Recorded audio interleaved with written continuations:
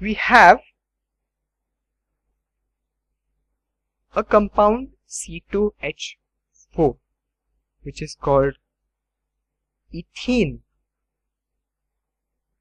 Now, what happens in this compound? First, I drew the C. Now there are only four hydrogens. So we cannot have six hydrogens over here. We have space for only two hydrogens on each carbon atom. But see, carbon, this has only three bonds. So it has one electron. It has one valency which is not satisfied. Similarly, this carbon also has a valency which is not satisfied. So how do, how do they satisfy this fourth valency? They make a double bond over here. Now see, if they make this double bond, 1, 2, 3, 4, 4 is satisfied, 1, 2, 3, 4, 4 is satisfied. So in ethene, there is a double bond between a carbon, between the two carbons. Now let us proceed to this electron dot structure.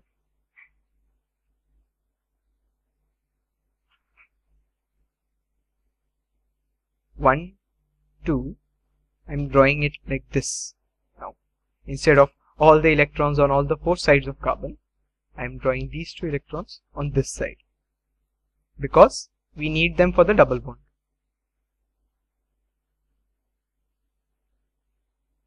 Hydrogen, hydrogen, hydrogen and hydrogen. So first make the hydrogen happy give them the electron of carbon. Now, these two electrons are shared with these, this electron is shared with this electron and this electron is shared with this electron.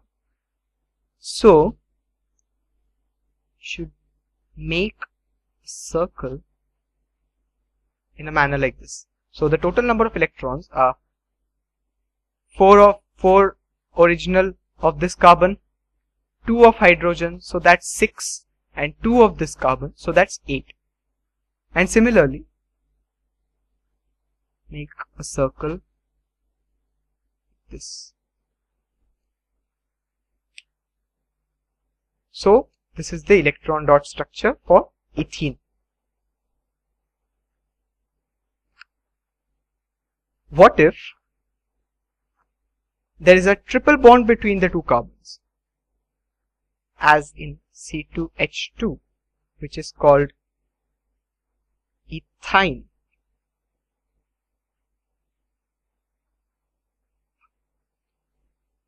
Now we have only two hydrogens.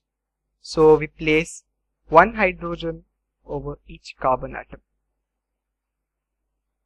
So there are only two valencies which are satisfied the there are two valencies of carbon still left to be satisfied. It needs to bond to two, it needs to have two more bonds.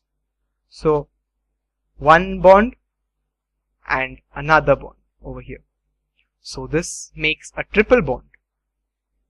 So carb, this carbon has one two three and 1. 4 bonds. So its valency of 4 is satisfied and this carbon also has 4 bonds. So its valency of 4 is satisfied and of course hydrogen valency 1 is satisfied. So the electron dot structure will be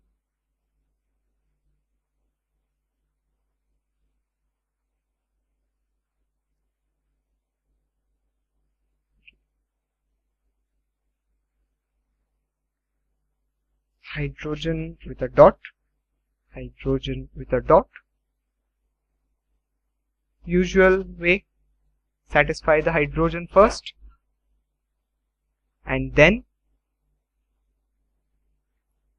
satisfy this these two carbons.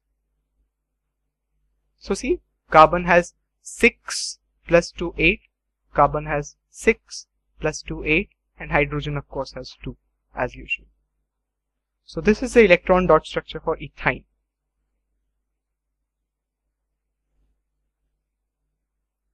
Now, try drawing the electron dot structure of CO2, carbon dioxide.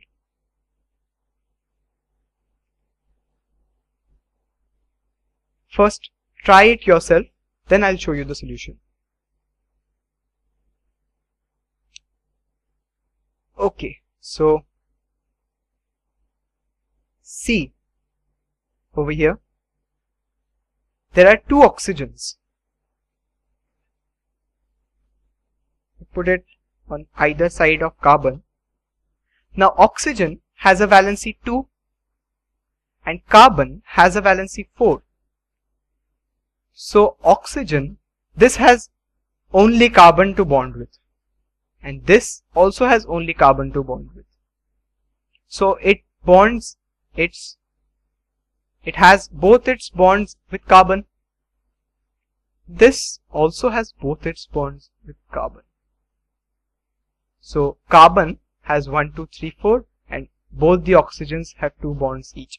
So all the valencies of all the valencies of all the elements are satisfied over here. We don't, you might think that there might be a structure somewhat like this or something like that, CO2 like this. But oxygen, this oxygen has one valency remaining, this carbon has three valencies remaining, nothing to satisfy them. So this structure is ruled out. And moreover, this oxygen-oxygen bond, single bond, is very weak. So this breaks very easily. So this is not formed. This is the structure for CO2. Now its electron dot structure. See the bonds first. There are two bonds. So there should be two electrons over here. There are two bonds here. So there should be two electrons here.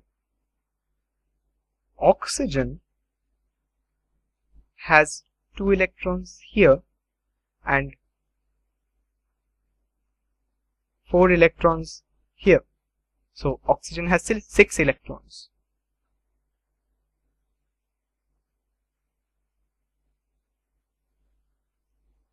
So oxygen gets these two electrons from carbon.